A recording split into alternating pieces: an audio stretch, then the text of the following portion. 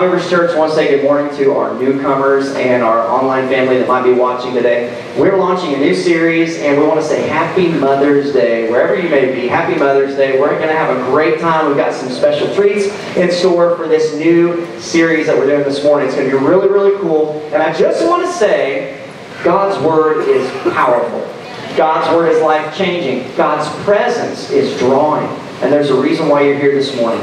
That reason is God has something for you. And I'm really excited, really excited to watch you guys walk out these doors today, encouraged, inspired, motivated to just take that one step closer to living life the way God has dreamed for your life to be. Your best days are ahead. It's really awesome what God has in store. But I want to pray for you. I want to pray over the Word. We've got a great message for you today. If you bow your heads and join me. Father, we're so grateful this morning for your presence. Thankful for your people who are so awesome. Thankful, God, for your Word that is powerful. God, I pray in Jesus' name that you would speak to our hearts, you would inspire us and encourage us to be more like Jesus Christ. We love you this morning. We thank you in advance for the great things that are to come. In Jesus' name, everybody said? Amen. Amen. How many of you guys like to eat? Woo! Yeah. I mean, seriously. Some more than others. Some more than others. Um, you know, I'm very thankful, all right, seriously, that God has given me a high metabolism because I love. We I mean, all hate you. I know. Because of that. Amen. But you know, skinny people.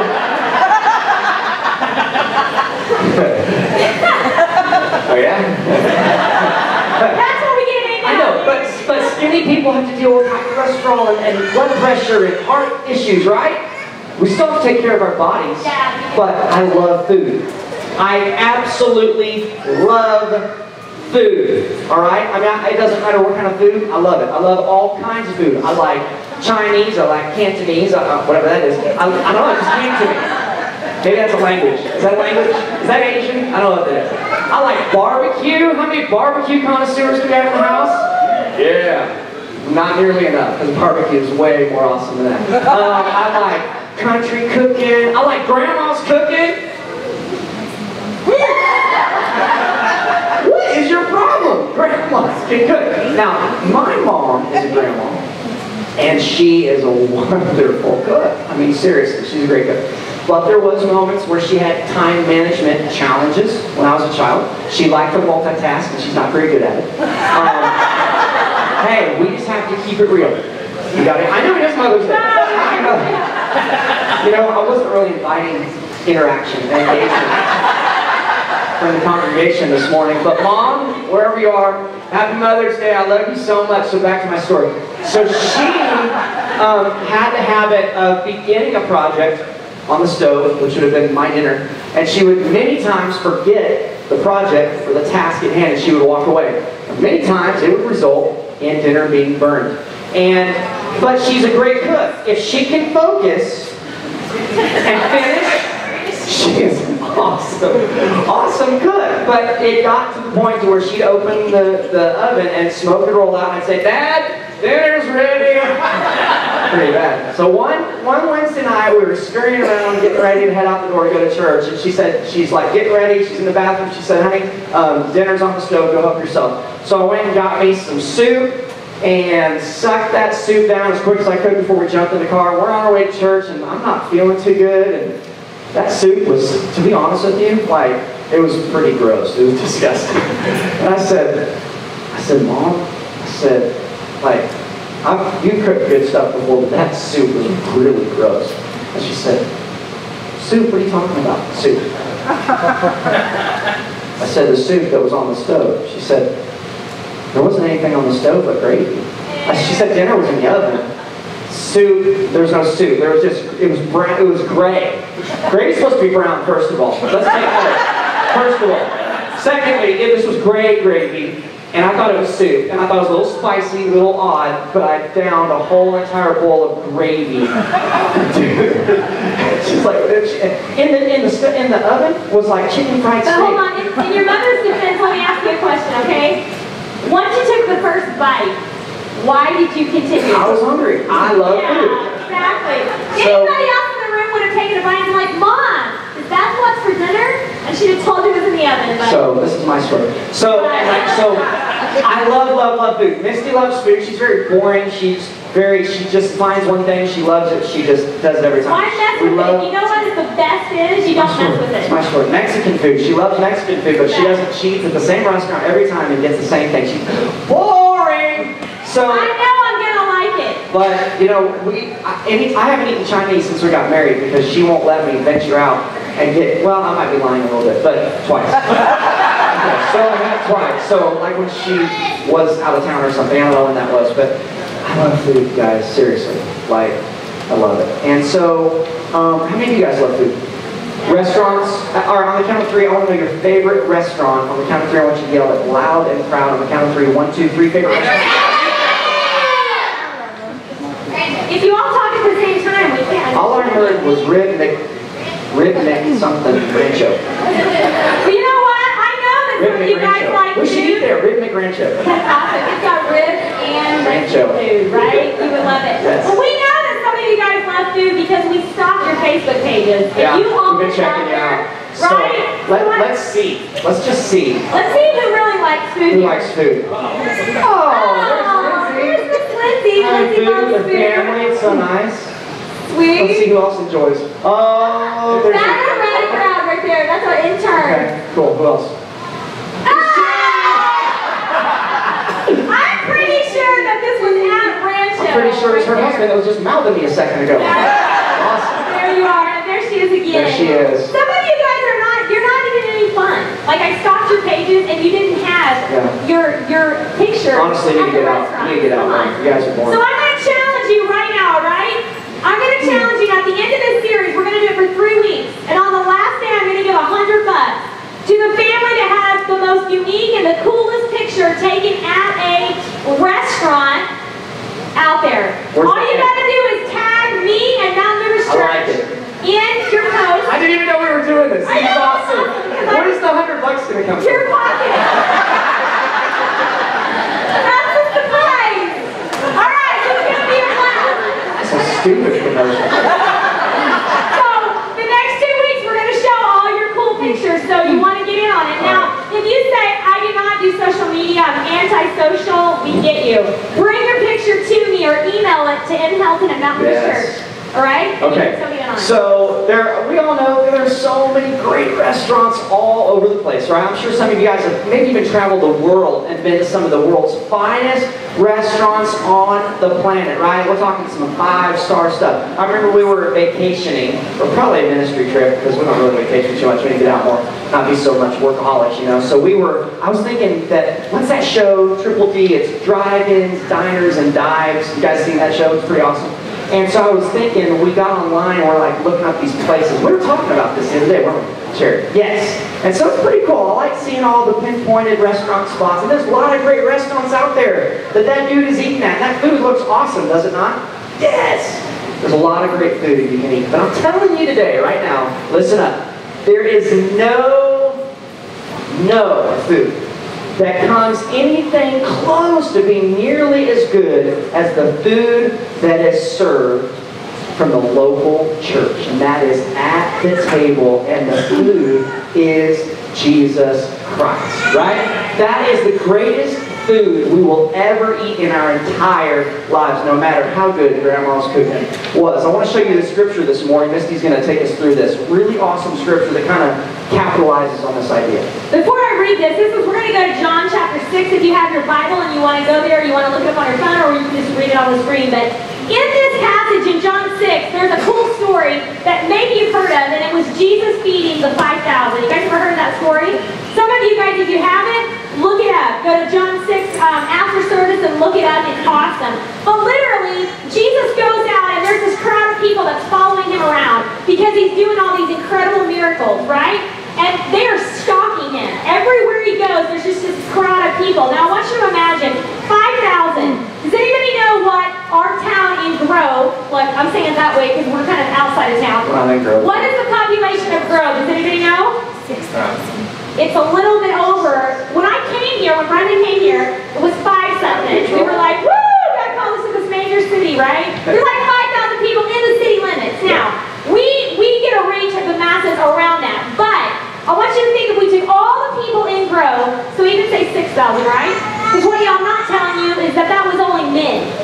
So most men probably had a wife and at least one kid. So what's five times three? Oh wait, I got this. 15. One of the seniors should have got it. 15,000 people. At least 15,000 people were there that day, at least. All right? And here's what happened. Imagine 15,000 from Grove. Jesus shows up in Grove, Oklahoma. And 15,000 people on foot are following him all over Grand Lake. That would turn some heads, right? Well, these people did not want to miss the miracles that were happening. Know what they did? They were just not eating. They were just following him around, not even eating, and they were getting hungry. And the disciples came to Jesus and they said, hey, these people are getting hungry. Like, where are we going to get food? And Jesus said, you tell me where you're going to get some food. Like, how are you going to feed these people?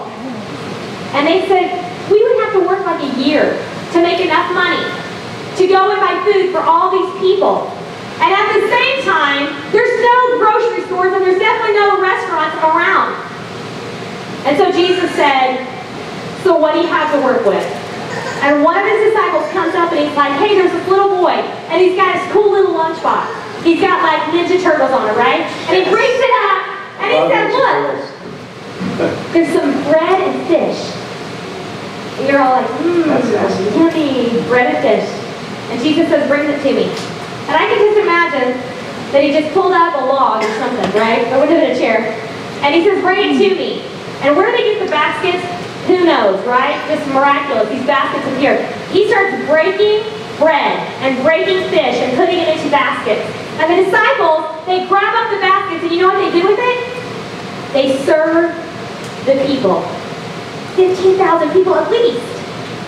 And they said that after everyone had eaten, there were 12 full baskets left. That's what I call an incredible miracle.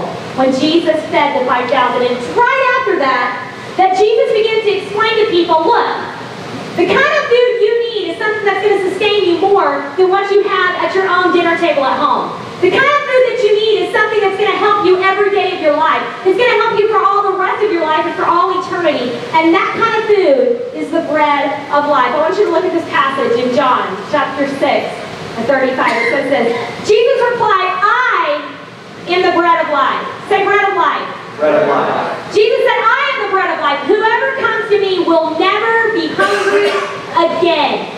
Never be hungry again. I don't know how many of you guys joined in on our three day of fasting. We fasted from Wednesday to Saturday. But if you did, you know what it means to be hungry. And Jesus says, You're never going to have to be hungry again, ever. Because whoever believes in me will never be hungry or be thirsty.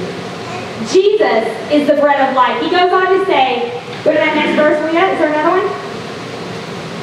Or not? Right there. It's in there somewhere. I don't know. I'm going off the screen. But here's the deal, guys. When you come to church, I want you to imagine that you're coming to the table. At our house, when I call dinner, we don't sit in front of the TV unless the table's covered in taxes. That happened here recently, right? Like, I was like, don't you touch the paperwork. We're in the That's, that's very real. But we call them, let's go, everybody to the table. We come to the table, we sit down as a family. When you come to church, you're coming to sit down at the table, and you're coming to be fed. And guess who your chefs are?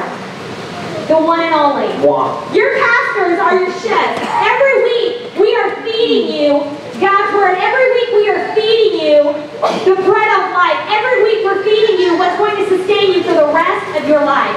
And this morning we decided that we're going to go ahead, not only are we going to feed you the word, but we're also going to feed your little tummies as well. We're all about catering We are all about catering. to your needs. to you. So we know that some of you guys want- enjoy the donuts, but some of you are like, you know what? That's Some of them get like grumpy when they don't get it I heard a kid this Heard morning a say, kid. you know what? Donut! Fed. But this morning we're going to serve you restaurant style something other than a donut. Yeah. Does anybody know how to spell hors d'oeuvres? Because I don't. But that's what we're going to serve you this morning. And uh, we want you guys to enjoy. But we are the church. the church is the table, and it's our jobs as your pastors to feed you. How many of you guys came hungry to church this morning? Yeah. Right? So we're going to feed you. So as they're as they're distributing the food, maybe God will multiply and they'll have enough for the second service. That'd be awesome. That would be awesome. See, there's benefits to coming to the first service because you know If we run if we run out, out, second crowd. second crowd, yeah, they're done. You know what's amazing, guys? How many of you guys have ever invited somebody over to your house for dinner? Anybody? You know what you do when you invite someone over? How many of you guys have ever invited somebody over and they told you no? Once in a while? Not very often. But not very often. I want to tell you guys, when Brad and I got married, he thought I should be like the queen bee hostess. Okay? I'm not really the queen bee hostess. Not really. I'm more like I can run an event and I can coordinate, but do I want to honestly like throw out all the cool stuff on the table? I can do it. It's not really my superpower, right? Brad goes up to people we didn't even know in college. didn't even know them. I remember this one guy, he played in a rock band or country band or something, local in Joplin. And he comes home to our 600 foot apartment, 600 square feet. Did anybody catch that? 600 600 square feet. square feet. What is that? Like the size of a stage, maybe? Like That was our first home. 16. And Brad said, hey, I invited this guy and his girlfriend over to our house for dinner. I said, "Did- are we getting a new house? Like, what are you talking about? We don't even have a house. We have like an apartment. An electron, electric, you know, plant appliance. I didn't even have, listen to this, I didn't even have a kitchen. There was no, there was no stove in this apartment. And Brad says, but listen, She's resourceful. but listen, they need Jesus, and I'm going to invite them. I invited them to come over to our house for dinner. So what did I do? But I cleaned my 600 square Didn't feet. take very long. It didn't take that long. I cleaned it all spotless. And then I got into the kitchen, and I can't even remember, remember what I made, but I took every tool I had in my kitchen and I put out a spread. And I took the tiny little table, which you see right here. Yes, boys and girls, this is vintage. That was 15 years ago. This is vintage. I set this table as pretty as I could possibly make it to host this couple coming over. Mind you, I've never met them in my life, right? But I married Brad. Brad loves people. He can meet you in Walmart and you're coming to our house. And I love so, people. they come in and they sit down and I wanted to make sure everything was perfect. Yeah. It's From the moment they walked in, now back in the day we burned candles, now we have Scentsies, right? Get your Scentsies, right? But I had the candles burning, and I made sure my table was set. The house smelled good, it was clean, the food looked beautiful, and most of all, it tasted really, really good. They came into our home that night and they had an awesome time with us. I don't ever remember if we ever talked to that couple again in our life. But that night, we shared Jesus Yes, we did. with that couple. And I bet to this day, They'll never forget they will never Never. forget us. A couple who invited them over who didn't even know them. My point is this, guys, every week we have an opportunity to invite people to the table. Right. Every week we have an opportunity to take an invite card and go out and say, hey, if you want to come to my house for dinner, do this this week. Go out with somebody in, in Walmart or in your community and say, do you want to come to my house for dinner? When they give you a funky look, hand them an invite card and say, hey, my church is serving up something awesome. You God's need to be there Sunday morning. Get fed. 9.15. I love it. Because every week we take the time, guys, to make sure that we're ready. That we're ready for those people that we've invited to Right. God's table. You know, I- we came out of this this last series that, that we came out of. We talked about the Great Commission. You guys remember that? And we talked about how our mission at Mountain Movers Church is to lead people into a real and life-changing relationship with Him. That is contagious, right? And so we're kind of bleeding into or feeding into this new series, right, at the table. And, and we're kind of just, just catching the momentum here. And we're talking about how there's so many people out there that surround you and me each and every day. Listen to me, each and every day. There are people that you go to work with, people maybe you go to school with, family members, friends, neighbors that are hungry. They're hungry for happiness. All around you, there are people that are hungry for happiness. You know, I came to a point in my life when uh, I was very young and I was I was in business and I was doing really good. You know, some great things were happening. I was making good money and I was I was happy about that. Happy, happy about that. and I really came to a point where I, I thought I had everything that I could have ever wanted in my life. But the fact is, I was still hungry. There was something that wasn't complete. There was something that wasn't filling my life and truly making me happy. I was continually searching and seeking for that fulfillment, for that thing that would fill my hunger, that thing that would quench my thirst, and I just couldn't find it until finally I realized that my life without Jesus Christ was absolutely hopeless. I realized it wouldn't matter if I had all the money in the world, if I had the biggest house, if I had the nicest car, it would have never mattered because the only thing I realized that truly gives me fulfillment, fills my hunger, and makes me full is a real and life-changing relationship with Jesus. See, I came to a point in my life where I came to the table. I attended a local church where I was living, and man, did they serve up the Word of God. Man, it was awesome. And, and my heart, I remember it was a Wednesday night. I'll never forget this. As long as I live, it was the week of Valentine's Day, and it was 1997. Yeah. I'm like, old. I didn't even I'm know. old. This I just got some weird looks from the front row. They're like, huh? 1997, Wednesday night. Right? The, the worship band and the, and the team, it was like our Accelerate, and they were, the worship was awesome. And I was back here, kind of like towards the back, in the middle of this crowd of people, and I was just like, I was shaking. Like, like there was goosebumps all over my arms and my body, and I was like, I don't know what the heck is going on right now, but this is really awesome.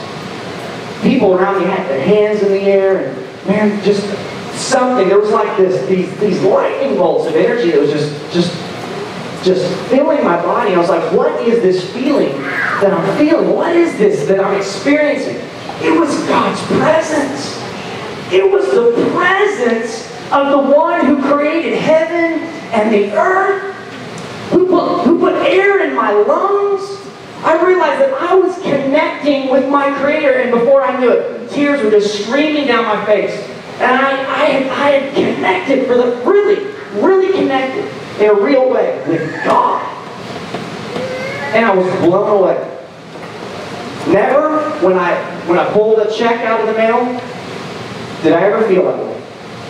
Ne- never, never when, when I when I, I got a, a, a, car or a, a raise or, or whatever you can think of, I never felt that way the way that I felt when I connected with God that night.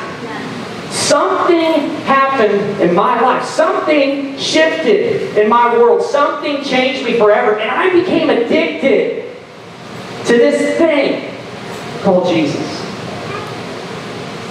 I became addicted to this food that they were eating. And I was like, man, this is some good grub. I want some more of this. And I realized as I grew in my relationship with Christ that there are so many people around me, even people who think they think they're at the table. They think they think they really know the food, but they really have never truly eaten of it. And you know, Mountain Movers Church, our vision, our mission is all about reaching those people who are hungry. I would love to sit here and stare you in the face. Those of you who have been in church for a while and say, man, we do all of this just for you. But that would be a lie. Hold on, let me let me break in here. How many of you guys are ever caught using paper plates at your own house? Right here. You know what? Who has time to wash dishes? Not my daughters would say amen, right? Because they have to do them at our house. What kind of styrofoam? But guess what? If I'm having guests over, what am I going to bring out? The best. I have. The best. The best I have. My own family, am I going to feed them? Absolutely I'm going to feed them. But I might throw out some paper plates or some styrofoam plates. That doesn't mean we don't love our kids. no, but what it means is if I'm having a guest over, I'm having somebody over that's never been, I'm gonna pull out the best. Best the I'm gonna pull out the best, and that's what we do week in and week out. We do everything that we do because of the newcomer that walks down our sidewalk right. and they walk in. You know, from the moment you pull in and you see crazy guys holding signs and waving and smiling. We're glad you're here. In the sun or in the rain. These people are we cold. Are it's a cold. It's a cold. I just made it up. We're excited and we're celebrating with you. From the time you walk down the sidewalk and into the foyer and you never know what's going to be happening. Today, we're and yeah, we know it's kind of crowded, but do you know just four weeks ago, that entire room wasn't even there. We were like, we were like this. Good morning. Good morning, welcome to Mount Church. I wish we were actually married because that was kind of. That was weird. I didn't mind it, but it was. close. Wow. Wow. You're Welcome to right. Mount Grove Church. He gave us, he has supported. That's how we treat people around here. That's what I'm talking about. Go team. And you wonder why people keep coming back. Oh, wow! You do have an ADD pastor, but he keeps you awake. You're not going to fall asleep. We have notes right here. It's all good. We're going to roll out the red carpet every Yes, single are. week, every single experience. Yes, We're going to give our very best. Because guess what? Not only is there a table, but there's some chairs. And I want to talk to you for just a few minutes about these chairs. How many of you guys, when you go home to the dinner table, you enjoy doing this? Many of you guys eat at home like this? You do not. you bunch of liars, right, in church? No, you pull out a chair, right? And at this table, we've got four chairs. But I want to talk to you for just a second about these chairs. Chair number one, we're going to use this as an analogy. I want you to never ever forget this. When you look at your own kitchen table and you look at seat one, I want you to think about this. At the house of God, chair one are people who are far from God. Okay, these are the these are the guests. These are the ones who we roll out the red carpet for every single week. You know why? Because they haven't been to my house before. And I want to make a really, really good impression. I'm going to break out my china, but I don't have any. So I'm going to break out whatever I have. And I'm going to make sure that it's the very best because these people have never been to my house before. And every single week at Mountain Movers Church, we want to make sure that we have people in seat one, in chair one, people who we, you know what we get excited about? I love all of you. Like all your faces that I know, I love you. And if you're gone, I miss you. But you know who I get excited about? Is bumping into people I don't know and saying, hey, I am so glad you're here. This morning I cracked somebody in the back with the door because it's so crowded, right? Sorry I'm about like, that, by the way. "Hey, I'm glad you're here. It's like she doesn't get out much. I don't know. And then you got you got the next chair. You got seat number two. And seat number two is this. This chair is for the baby ones. Alright? How many of you guys ever had a baby in your house? Come on. You had some babies. Guess what? Babies, they don't necessarily know how to feed themselves just yet. You might actually have to get a spoon out and you might actually have to help them. You might have to make sure that they are eating and eating it up good. But here's the deal. We don't want to just have people over here in this chair. We want to feed them at our table, and we want them to experience the real love of Jesus Christ. We want them to come and find out God is really real. He really and He really you. And He really wants to have a real relationship with you. And His Word is really true from cover to cover. And it changed our lives. And because of it, they say, yes, I want Jesus. Just this week, just like yesterday, we got a text from one of our new guys, and he said, I want to be baptized. He said, I'm ready for that next step. I'm ready to move from this chair right here from chair one, and I'm going to plant my butt in chair two. Because I'm ready to start growing. I'm ready to go farther in God. Ready. I don't even know what that looks like yet, but I'm ready. And then you got chair three. And before we move on, I want to say that honestly, a third of this church at all times, our goal is to be a third filled with these baby believers, with this chair right here. And a uh, third with this chair right here. And a third with the chair I'm sitting. And that third chair is this. That third chair is those who they've been here a while. You've been doing this thing a while. You know where the dishes are in the kitchen. You know what it takes to serve up for this crowd right here. You know what it takes to put on a good show. Have you ever been to a restaurant and the kitchen door opens and you see people skirting around in the kitchen and I'm like, wow, are they like sweat dropping in our food or what? Because right, I mean they're like running all over the place, the pans are playing together, and then the door shuts. And And you're back to enjoying your own meal, right? music, Guess what? pleasant conversation. Chair three right here, these are the guys in the kitchen. These are the guys serving it up. These are the men and women, boys and girls, who every week, week in and week out, they're like, hey, I know how to eat and I'm ready to serve. I know how to feed myself, man. Every day I open the word and every day I'm eating it up. But when I walk through those doors, man, put me in chair three because I'm ready to serve it up. I'm ready to somebody else to Jesus Christ. I'm ready to hold a sign and say, yes, we are so glad you're here. I'm ready to turn some knobs upstairs and run a computer. I'm ready to get on a keyboard if you can play. Right? I'm ready to serve up Right. Jesus Christ. Right. And there's one more chair that we didn't bring out here this morning, but some of you have these in your house. And it's a high chair. Many of you guys got a high chair in your house? Of you guys know that people sitting in a high chair, they kind of like to throw fits? You ever had a Yeah? You had those babies who are like demanding. I have a nephew. His name is Kipton. Cutest, chubbiest baby you've ever seen in your life. cheeks. Like I think he has food left over from like four. See? There's Kipton. Kipton. Hi, buddy. Kipton Wait, loves wait, wait, wait. Who's your favorite? Uncle Brad. Timothy D. He's fun. Loves to eat, guys. Yes, he does. And guess what? Yes, when. Kipton is hungry, everybody knows it. When Kipton is hungry, after a couple minutes, somebody's going to drop what they're doing and make sure he gets fed. Yeah. But guess what? If Kipton continue to do that two and three years down the road, Or five or ten. it would start to get somewhat annoying. It'd be a bad deal.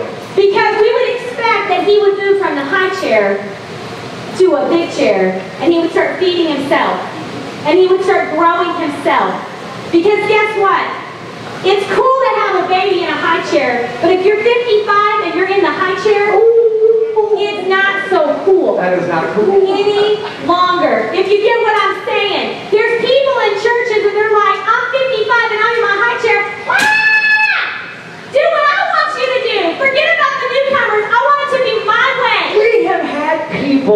leave this church. I like the silence because I think you're going to hear what I'm about to say. They're all here. Because we spent money to build a new life room to make more room for more people on the Wednesday nights to connect and grow rather than spending money on something they thought we should spend money on. Is that crazy? It's crazy. We know it's crazy. And if we keep things in perspective. When guests come into my home, I tell my kids, it's not about you. You get to eat here every day. When the guest comes in, we'll serve them up first. I'll make sure we have enough food for them first. And I'm telling you, sometimes we've got more mouths to feed at my house than expected. And if you know me, I get groceries like once every three weeks, which means you got to get kind of creative. And yesterday I had a house full, did we, We had not? a house full. And awesome. I told Brad, I'm like, I have no idea what we're going to feed everybody. I have no idea. And I But you're went in- resourceful. and I pulled out every pan and every glass dish that was in there from all week long, and I served it all up. But I made it look new. I You made it did. look awesome. And even Proud. Bradley, it was his birthday, not you. I mean- other our other Oh, Bradley. Bradley right here on the camera. Bradley was there. And I understand that Bradley's somewhat picky. And I was like, I don't know if I'll have anything in my house with this dude to leave. But I pulled out food and I said, do you like barbecue chicken? He's like, I like chicken. Oh, I'm like, do you Didn't like say it like that. I baked like beans? chicken. I don't know how to, I can't do impressions. but we pulled it all out. And guess who I served first? Bradley. And my nephews were there, Kipton and Cash, and I served them second. Then I served my four kids, and I divvied it out between them. And then I served my husband. And then it was all gone, no joke. Are you serious? Yeah. And then I went, I made myself a salad. I But had guess no what? idea. How would I have felt if I would have ate it myself? I had no It's fun I feel bad. to serve. 'Cause I Mamas serve- know I gave you a hard time because you didn't share any of your salad with me. I was like, I wanted some of that. I had no idea you Oh! So sorry.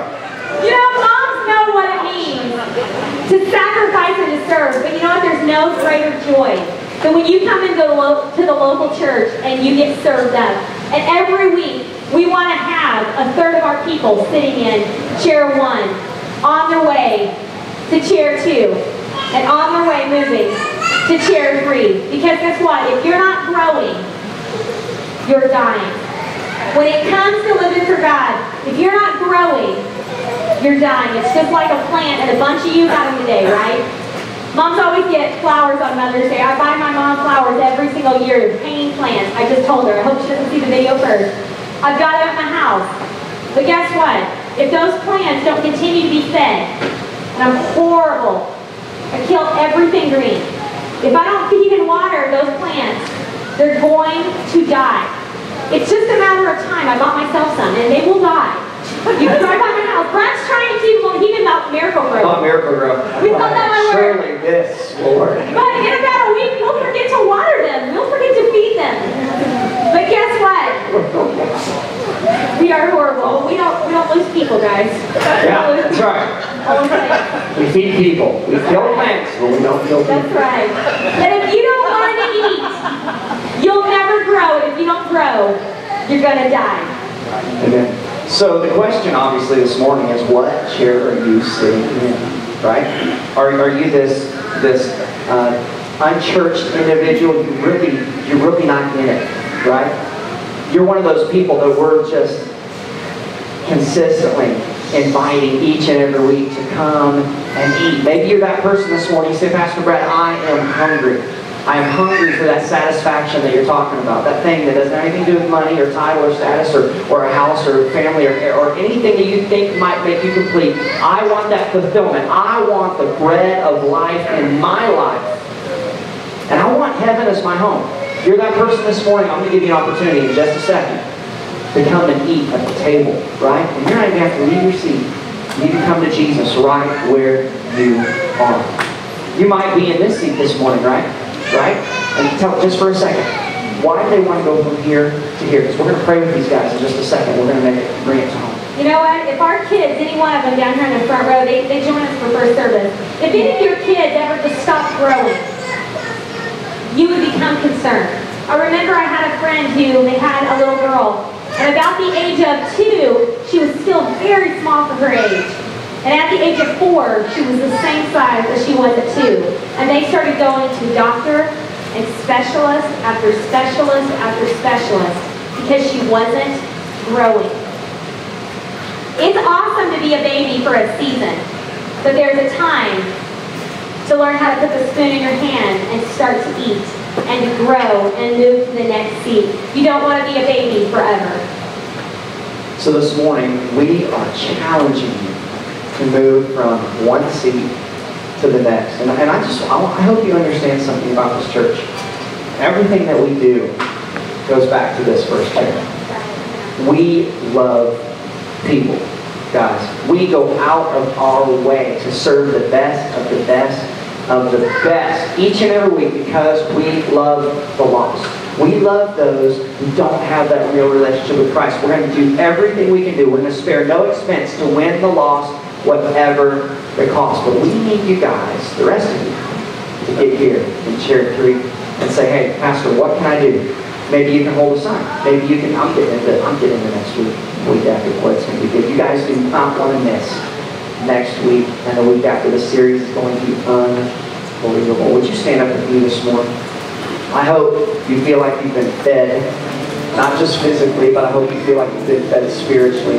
Jesus is the bread of life. Anyone who comes to him will never hunger and will never thirst again.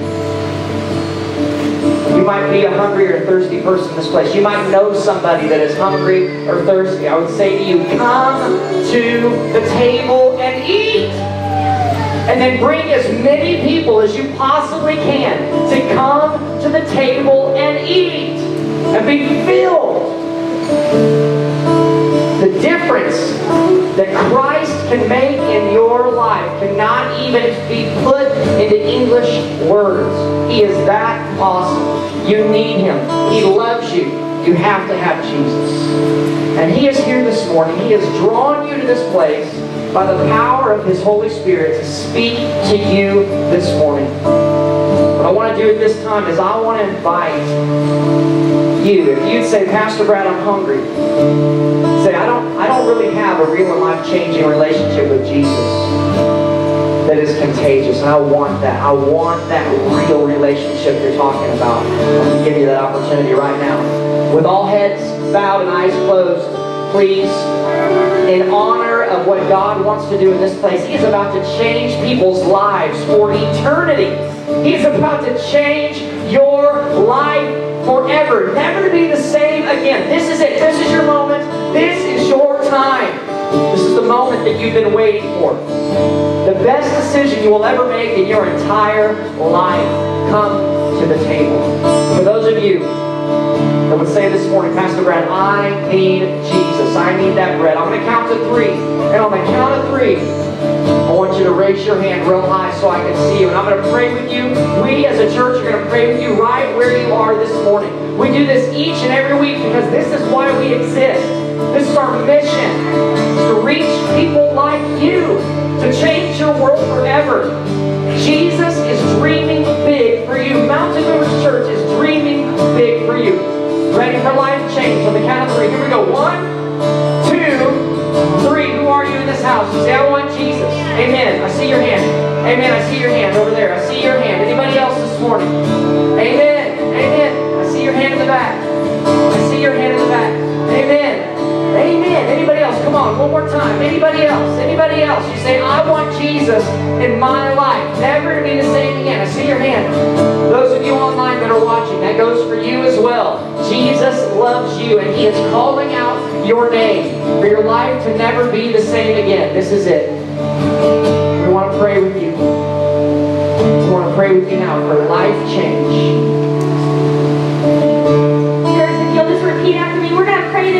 Together. We're going to join those who are making this decision maybe for the first time. Maybe this is a this is coming back to Christ, but we're going to pray with them. Everyone say, Father God. Father God. We need you in our life. We need you in our life. We recognize. We recognize. You're the bread of life. You are the bread of life. That brings satisfaction. That brings satisfaction. To my life. To my life. I admit. I admit. That I'm a sinner. That I'm a sinner. In need of a Savior. In need of a Savior. I ask. I ask. That you come into my heart. Come into my heart. Forgive me of my sin. Forgive me of my sin. Give me a brand new life. Give me a brand new life. I want to make. I want to make. Your house. Your house. My home. My home. I want to come to the table. I want to come to the table. I want to grow in you. I want to grow in you. In Jesus' name we pray. In Jesus' name. Amen. Amen. With heads, with heads bowed, I, I want to pray to you. Yes, just real quick. I want to pray for those of you who say, Pastor Brett, I want to go to the next chair. I want to go to the next level in you. I want to be fully used of Almighty God to make a difference in this world and a difference in other people's lives. I want to belong to something bigger than myself. I want to be involved in the local church. I want to help at the table. If that's you this morning, I just want you to lift your hands where you are. And those of you want to say thank you also to all of our volunteers every week, leaders and volunteers, all of you guys that are making a difference. You cannot even imagine how thankful we are for you. We want to pray for you guys this morning that God would use you this week to invite someone to church and make a difference in his house. Father, in the name of Jesus, right now I just pray over each and every one of these who would say, I want to go to the next chair at the table. God, I pray that you would bless them. I pray that you would put a hunger in their heart to serve others. God, I pray that you put a hunger in their heart to grow at the table in your word and, and in, in uh, communion, Father God, in connection, God, with your people, to grow in a relationship.